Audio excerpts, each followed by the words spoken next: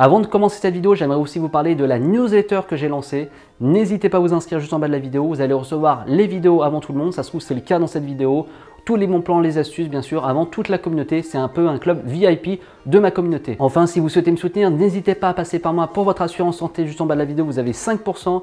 Vous avez aussi des transferts gratuits, des devis gratuits pour le cercle des vacances si vous comptez partir en Australie et prendre votre billet d'avion. Merci à tous, à très bientôt et surtout, bonne vidéo. Salut à tous les amis, ça fait super plaisir de vous retrouver pour cette nouvelle vidéo. De quoi tu pars en Australie? Bah, Du coup, ça va t'intéresser parce que là, on est avec Elsa. Elle est quasiment bah, là en direct. Euh, de la ville de. T'es où d'ailleurs actuellement? Je suis à Noussa exactement. Voilà, donc tout ça, on va en savoir plus. Donc, elle est arrivée il y a environ 15 à, 15 à 20 jours. Donc, c'est une réaction vraiment à chaud, une retour d'expérience. Vous êtes sûrement bah, en plein préparatif de votre voyage sur l'Australie et vous voulez en savoir plus sur son expérience. Alors, elle n'a pas travaillé. Elle va vous parler de ses premières semaines, comment elle a géré. Donc, déjà, pourquoi être partie en Australie? Et bah, pourquoi être partie en Australie? Tout simplement parce que j'avais envie de, de, tenter ce genre d'expérience. Euh, euh, autour de moi, il y avait pas mal de personnes qui, ont tenté du coup de, de partir. Euh, c'est vrai que ça m'a mis un peu la puce à l'oreille parce que j'avais aussi envie de, de, en tout cas, de d'avoir cette expérience-là. Je suis jamais partie. J'ai toujours euh, voilà, euh, partie en vacances ou faire des petits trucs comme ça, mais vraiment me lancer et puis pouvoir me tester un peu mes limites aussi. Euh, L'Australie, parce que forcément, c'est un beau pays, il y a vraiment plein de choses à voir. Euh, ce qui m'a aussi euh, vraiment motivé, c'est les groupes Facebook sur lesquels les gens euh, mettent euh, pas mal de commentaires, pas mal de photos, pas mal de vidéos. Donc, c'est en regardant tout ça que ça m'a vraiment motivé à, à franchir le cap, on va dire. D'accord, donc tu t'es bien renseigné sur Internet, à travers des vidéos sur YouTube, à travers des posts sur Facebook, et finalement, bah, tu t'es euh, dit, il y a un truc à faire, on y va, on va au bout du monde. Ouais. Très bien. Alors du coup, tu es, arrivé dans, arrivé dans quelle ville? Alors, je suis arrivée à Brisbane, exactement. D'accord. Alors Brisbane, pour ceux qui sont euh, totalement amateurs de l'Australie, qui préparent leur voyage, Brisbane, c'est celui que tu as alors pour ceux qui débarquent et qui préparent leur voyage, vous voyez Brisbane directement sur la carte, situé, situé en plein milieu de la côte est. Euh, voilà, une ville qui est très agréable, que je recommande fortement. D'autant plus que si vous souhaitez travailler dans les fermes entre, euh, entre fin février et fin août, c'est un excellent spot de free picking. Après, il y a des bananes toute l'année. Euh, voilà, il y a du travail comme toute l'année. Mais surtout en saison, après, à cette saison-là, il fait beau à Brisbane, donc c'est bien pour la restauration, les bars. Euh, à partir de voilà, début novembre, décembre, c'est la période chaude. Euh, même s'il peut y avoir des saisons des pluies, il hein, faut faire attention aussi par rapport à ça. Mm. C'est un paramètre qui rentre en jeu. Donc on, voilà, il fait beau, mais il y a aussi la saison des pluies. On va dire que nous, on n'est pas en pleine saison des moussons, parce qu'on n'est pas en pleine, on va dire, euh, à l'endroit des moussons, c'est plus vers Cairns où tu as vraiment plus de moussons. Mais voilà, à Nousa, on peut quand même euh, avoir quelques moussons. Alors, concrètement, donc, tu dors. Alors, Elsa, tu as dormi où dans les premiers jours en Australie? Alors, quand je suis arrivée les quatre premiers jours, j'étais en Airbnb. C'était un choix personnel euh, pour pouvoir un peu euh, me retrouver, on va dire, tranquille avant vraiment d'attaquer vraiment une auberge, tout ça. De... Je me suis dit avec le décalage horaire, euh, le nouveau pays, enfin pas mal de choses, je vais, je pense apprécier me retrouver seule, on va dire, dans un appartement, dans une chambre privée. Donc j'étais en Airbnb pendant quatre jours. Et ensuite, je suis partie en auberge à Brisbane. Donc là, c'était ma toute première fois en auberge parce que je ne l'ai jamais fait. Et, et après, depuis, depuis, je suis en auberge. J'ai enchaîné les auberges depuis, euh, depuis ça. Ouais. Pour les personnes qui débarquent en Australie, je vous conseille fortement de commencer par une auberge jeunesse. On va se faire un réseau, on va se faire des amis. Et c'est toujours mieux de commencer de. Alors Airbnb c'est bien, mais pour quelqu'un qui part seul comme Elsa, bon, je ne l'aurais pas forcément recommandé. Après, bon, c'est euh, un choix. mais en tout cas, commencez par une auberge jeunesse. Vous allez se faire des amis, des, contacts. Il n'y a pas mieux pour euh, commencer vraiment son vie en Australie, euh, parce que le réseau c'est votre meilleur pour trouver du travail. Donc voilà. Donc l'auberge jeunesse. exactement ça, ouais. Pas trop dur l'auberge jeunesse au départ. comment dire La vie en auberge jeunesse. Euh, non, non, non, non, franchement, ça va. Euh, non, ça va. Il y a... Non, ça va, parce que comme tu l'as dit, on rencontre quand même pas mal de monde. Euh, voilà, c'est un milieu qui était un peu tout nouveau pour moi, donc euh, tu découvres, euh, tu apprends un peu à, à, voir comment ça fonctionne. Et puis voilà, vu que tu rencontres pas mal de monde et euh, ils peuvent t'aiguiller, ils peuvent t'orienter. non, ça va, franchement, ça va. Voilà, donc Après, il y a des auberges qui sont plus petites que d'autres. Mais non, franchement, ça va. Voilà, donc n'hésitez pas, bien sûr.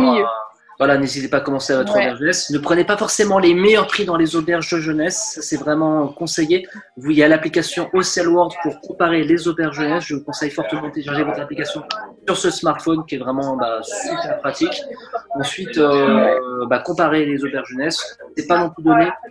Évitez de dormir dans les dortoirs de 16, euh, prioriser les dortoirs de 4 ou 6 personnes. Euh, voilà, c'est un peu plus sympa. Mhm. Euh, donc voilà, n'allez pas au moins cher et surtout bah, regardez bien les sur TripAdvisor et sur, euh, bah, voilà, sur les différentes applications. Euh, et les premiers jours en Australie, c'était pas un peu trop compliqué. C'est ça aussi cette vidéo qui va, qui va intéresser la communauté. Les premiers jours, il n'y a pas trop de stress justement parce qu'on se pose la question. bah, moi personnellement, j'ai mis du temps, enfin en tout cas à réaliser vraiment que j'étais arrivée en Australie. Euh, ça a été du stress dans le sens où euh, il a fallu vraiment que je, mon sens d'orientation soit, soit très vite développé, euh, que je puisse voilà, savoir euh, où j'étais, pouvoir me repérer, euh, quelles choses il y avait à visiter. Enfin voilà, vraiment, tu, tu, peux compter entre guillemets que sur toi-même, tu dois vraiment te débrouiller tout seul c'est du stress aussi dans le sens où si tu es un petit peu comme moi, on va dire quelqu'un qui aime bien être organisé, qui a des choses qui soient déjà un peu calées à l'avance, euh, stressant dans le sens où si par exemple euh, ça m'est arrivé hein, demain euh, ou même la nuit pour le jour même, tu sais pas où est-ce que tu veux dormir. voilà, c'est le genre de choses qui peut être un peu stressant, suivant ton tempérament et suivant ta personnalité. C'est un peu freestyle quoi. voilà, mais stressant aussi parce que forcément, c'est une langue euh, que tu maîtrises peut-être pas vraiment bien, suivant voilà, ton niveau d'anglais, suivant si tu as pu apprendre pas mal de choses. Mais euh, ouais, c'est, je dirais l'orientation, la langue et, euh, l'organisation, entre guillemets, qui peut paraître un petit peu stressant. Voilà, donc êtes sûrement comme Elsa, vous partez dans l'inconnu, forcément on se pose des questions. Où je vais dormir ce soir? Est-ce que je vais rencontrer du monde? Est-ce que je vais faire des amis? Euh, voilà, on se pose 10 000 questions. Et en fait, souvent, ce que je répète dans mes vidéos, ce qui, ce qui peut apparaître une montagne euh, en France est finalement qu'une colline à l'arrivée. C'est-à-dire qu'on se pose trop de questions, mais à un moment donné, il faut prendre son billet d'avion, son assurance et son PVT, et on y va. On se pose pas 30, 36 000 questions. Et en fait, bah, sur place, on n'a pas le choix. C'est comme sur une île déserte. On doit se débrouiller, on doit trouver de l'eau, de la nourriture. Voilà, on n'est pas sur une île déserte. C'est un pays développé. Il faut y aller, il faut trouver non, oui, travail. On fait un CV, on rentre dedans, on, arrête de se poser des questions et surtout, on arrête de se trouver des excuses. Parce que finalement, dans 20 ou 30 ans, on sera encore rendu au même point et qu'il y a combien de gens qui me contactent Ah merde, j'ai passé l'âge où, j'aurais dû le faire avant. Bah oui, mais à un moment donné, avec les signes, on peut pas refaire le monde. Donc voyez, allez-y, faites-le. Vous êtes jeune comme Elsa. Vous avez moins de 18-30 ans. C'est pas une finalité en soi. Attention, hein, je suis pas là en, je suis pas un gourou pour dire il faut partir. Mais par contre, si vous souhaitez l'envie, vous en avez marre un petit peu de votre vie en France, de voir autre chose, ça c'est un excellent moyen pour découvrir bah, une autre culture et surtout apprendre à vous connaître. Et c'est dingue le nombre de personnes qui apprennent pas à se connaître et finalement ils se retrouvent à 40 ans, ils ont toujours, les gens vivent à travers les autres ou on, fait un boulot par défaut. Allez faire des petits boulots en Australie, vous allez voir, vous allez revenir avec des vraies réponses. Tu as, tout bien résumé. c'est exactement ma situation. Donc arrêtez de vous poser des questions. Vous achetez votre billet, votre assurance, votre sac à dos, euh, voilà, le billet d'avion. Et après, il n'y a plus qu'à partir. Hein. Donc si vous hésitez à partir, vous pouvez me contacter à travers le pack gratuit. Je pourrais vous conseiller sur la ville d'arrivée, il n'y a pas de problème. Mais en tout cas, allez-y et foncez les amis. À un moment donné, on arrête de se trouver des excuses. Alors honnêtement, pas, ça n'a pas été trop dur du coup de s'adapter euh, euh, les premiers jours, c'est quand même un changement d'univers finalement. Ouais, c'est vrai. C'est un gros changement, mais euh, au niveau, non, franchement, au niveau de l'adaptation, j'ai pas eu trop de problèmes. Le petit truc qui peut être un petit peu compliqué, c'est euh, vraiment la barrière de la langue, parce que moi, c'est vrai que je suis pas, j'ai pas un anglais euh, vraiment euh, très bon. J'ai voilà, j'ai un petit peu travaillé, on va dire, avant de partir. J'ai regardé des vidéos, euh, des séries, par exemple, en anglais, ce genre de choses. J'ai revu deux trois bases comme euh, le vocabulaire ou des verbes irréguliers, mais euh, c'est pas du tout pareil quand on doit pratiquer ici, quand on doit demander quelque chose, quand on doit s'adresser à quelqu'un et surtout que la personne nous répond. Mais euh, au niveau de l'adaptation des différences de culture, franchement non. C'est un pays qui est quand même. Enfin, les, les, gens s'adaptent quand même, quand même pas mal. Quand ils voient que voilà, on est étranger, qu'on comprend pas, ils sont quand même assez gentils et empathiques. ils nous aident, ils nous expliquent. Euh, non, franchement, il euh, n'y a, pas, a pas une grosse différence de culture.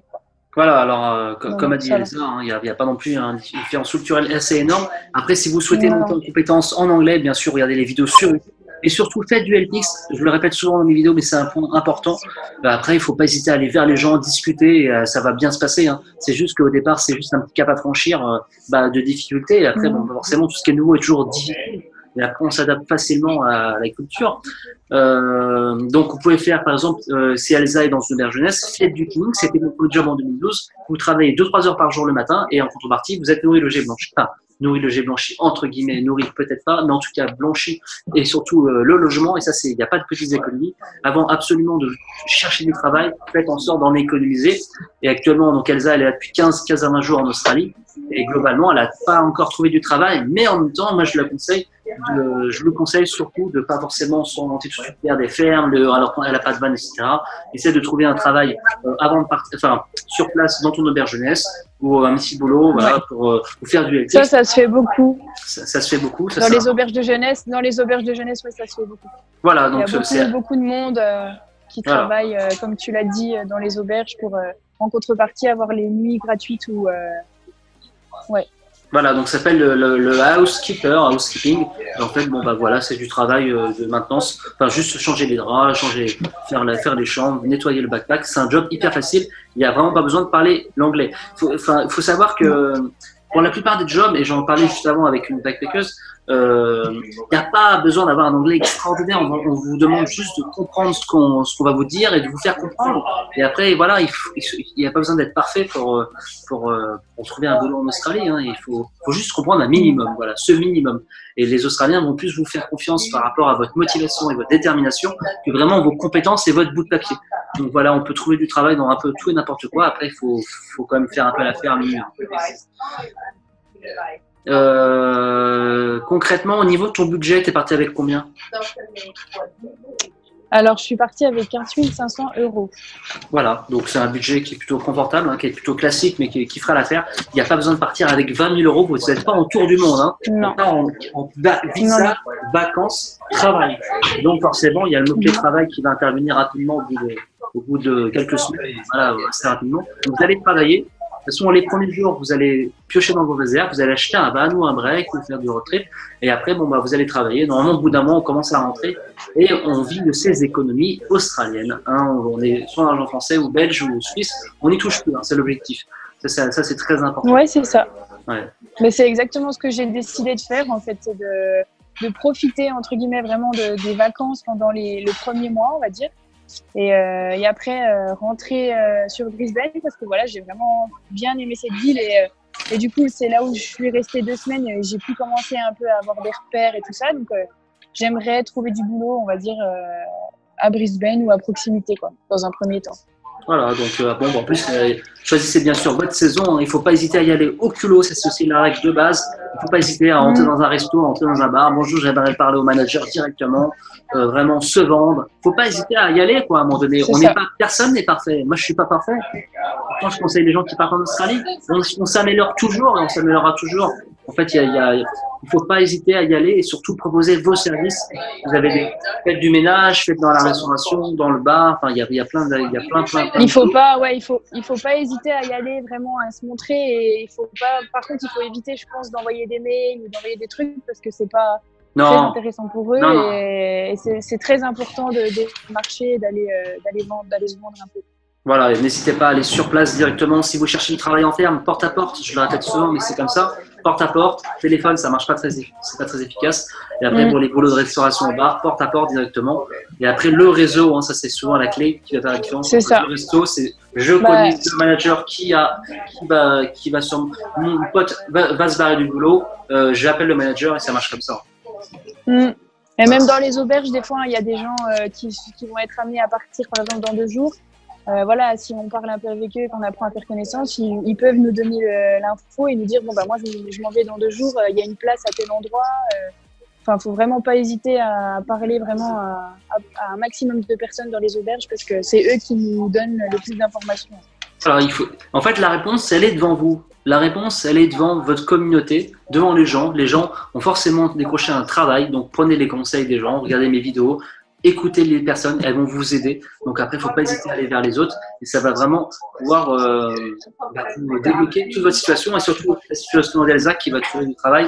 À mon avis, dans les prochaines semaines, il ne faudra pas y aller, hésiter à y aller au culot. Euh, est-ce, que tu aurais des conseils pour terminer cette vidéo aux futurs backpackers qui partent en Australie et voilà. Et eh ben, les conseils, je dirais que voilà, il euh, faut vraiment que vous preniez entre guillemets votre courage à deux mains pour partir. Vous allez certainement, euh, il y a des jours avant votre départ, vous allez vous poser des questions, vous allez peut-être reculer, vous allez vous dire oh non mais qu'est-ce que je fais, je pars loin, je peux pas le faire, mais vraiment foncez parce que euh, c'est vraiment une très très belle expérience. Vous allez peut-être pouvoir le faire qu'une fois dans votre vie. Euh, et voilà, c'est pas à 40 ans qu'il faudra partir et puis se dire bon allez, je pars faire, je pars en Australie. voilà, enfin vraiment n'hésitez pas.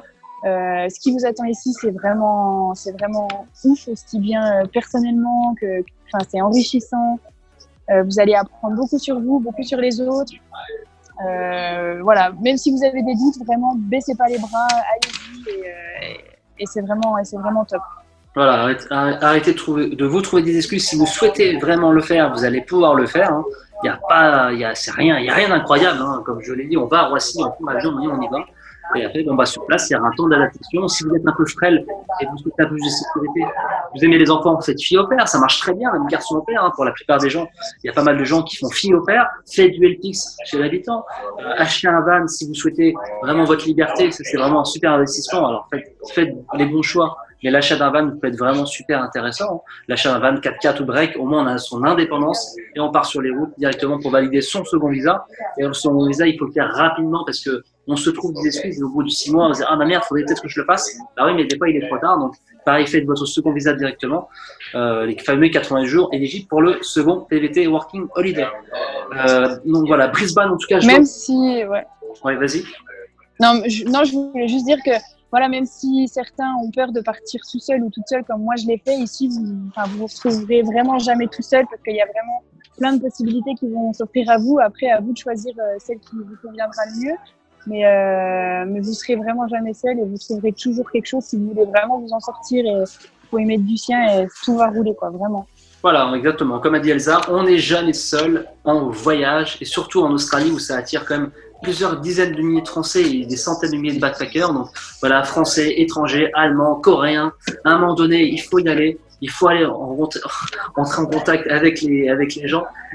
Pardon, excuse-moi, j'ai fait un euh, donc, comme a, dit, comme, a dit, comme a, dit, Elsa, à un moment donné, il faut y aller, il faut rentrer en contact. Et euh, c'est hyper simple, en fait. Il y a tellement de backpackers. Il y a, il y, a, il, y a, il y a, plein de Français chaque année qui partent. Il y, a des, il y en a, oui, il y en a plus qu'un. Il y en a un, deux, trois, quatre, dix, cent, mille, dix mille. Il y a des milliers de Français qui partent. Il y a des milliers de Coréens. Il y a des milliers d'Allemands. Donc, euh, c'est facile de trouver des, de, de, se faire des potes. Et surtout, si vous voulez vous progresser en anglais, évitez de traîner trop avec les Français. Ça, c'est un conseil, bien sûr. Ah oui. Donc, euh, ça aussi, bah, vous ça, c'est sûr. Voilà, il y a des Français, allez vers. Voilà, un n'empêche pas l'autre, mais bien sûr, limitez les Français si vous souhaitez monter en compétence et décrocher des jobs peut-être plus intéressants avec un anglais plus exigeant. Donc, euh, voilà, faites l'effort aussi par rapport à ça, c'est important de le rappeler. Bah écoute, euh, je te souhaite en tout cas une super expérience. Euh, tu, toi, donc, t'as pas souhaité acheter un véhicule, c'est ça? Non. D'accord. Et pour quelle raison? Toi, tu, tu, voulais plutôt rester en ville euh oui, c'est vrai que c'est, on va dire que j'ai eu ce, plus cette idée-là de départ. Après, je, je sais pas, j'ai pas dit que j'en achèterais pas un. Mais en fait, c'est comme ça que je voulais, je voulais commencer, on va dire, euh, mon PVT ici, quoi. D'accord, ok, donc euh, commencer un peu en ville, mettre de côté pour éventuellement acheter un break pour quelqu'un de seul, ça peut avoir un sens. Ouais. Après, je vous conseille, si vous avez un peu de côté, euh, et vous voulez tout de suite attaquer votre second visa, acheter un véhicule et partez directement dans les fermes, au moins le problème est résolu directement que attendre bêtement euh, au bout de dernier moment où ça, il y a beaucoup de pression. Donc voilà, pour le second visa, si vous souhaitez rester un an de plus, euh, pensez à ça et allez directement dans les fermes, travailler dans les perles, dans les mines. Un job éligible pour, la, pour le second visa, voilà. Le second visa vacances, travail. En tout cas, merci à toi d'avoir témoigné de ton expérience. J'espère que ça va motiver plus d'un euh, pour ceux qui partent en, en, Australie, je mettrai directement le Instagram de, de si vous avez des questions à lui poser. Euh, voilà, sur, sur son aventure. En tout cas, que ça vous pourrez la suivre sur Instagram. Euh, sur Facebook. Euh, bah écoute, profite en tout cas de ton année. Comme, comme tu l'as dit, euh, c'est pas à 40 ans qu'on va faire ce genre d'expérience. En tout cas, ce sera plus dur. On peut toujours le faire à 40, mais c'est plus dur. Bien sûr, mais c'est plus dur. Exactement. Mais c'est plus dur. On peut toujours le faire. On peut voyager à n'importe quel âge. Mais à un moment donné, forcément, quand tu as 40 ans et trois gamins, bon, bah, c'est peut-être plus compliqué que quand tu as 20 ans et que tu pas de gamins et pas de crédit et pas, de, et pas les, C'est ça les chiens ou les koalas. Donc, euh, peut-être pas les koalas. Exactement. un petit kangourou, ça va, un petit kangourou. ouais, allez hop, soyons fous. En tout cas, bah, en tout cas, profite, vraiment, profite bien de ton aventure. Nousa, c'est une super, c'est la super région. Euh, voilà, Nousa Head, Sousa, le parc national Nousa est magnifique. Donc, profite à fond. Va, ça. Pas Merci beaucoup.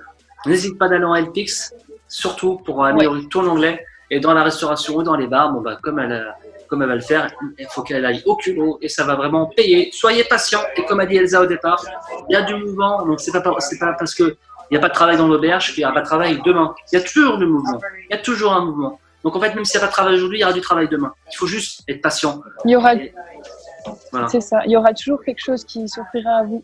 Voilà, placez vos pions intelligemment. On est, on une aventure de PVT, c'est comme un jeu d'échecs. Il faut, c'est pas une question de quantité, etc vous savez exactement là où taper au bon endroit et au bon moment. C'est surtout ça, parce que si vous n'êtes pas au bon moment, au bon endroit, bah, vous allez attendre bêtement. Alors si vous avez le bon contact et que vous savez que le poste se libère, et là, vous avez le job, tu vois, ça se passe souvent comme ça. Euh, que en tout cas, c'est Mais ça y est, je crois que ça ne marche plus. Ah, si, ça y est. Ah, ça y est, ça marche. Voilà, donc euh, n'hésitez pas à placer vos, vos, pions au bon endroit et au bon moment. C'est comme ça que ça marche. Souvent, c'est une question de timing. On a le bon contact, on contacte la personne, c'est bon, ça, c'est efficace. Vous avez rien à perdre, vous avez tout à y gagner. Euh, franchement, euh, ça va bien se passer et surtout, soyez fort dans les moments difficiles. C'est exactement ça. Tu as tout bien résumé. Merci en tout cas. Allez, à très bientôt. Profite, profite, profite. Et, euh, C'est bah, gentil. Profite de ton aventure. Allez, bientôt. Merci beaucoup, Damien. À bientôt.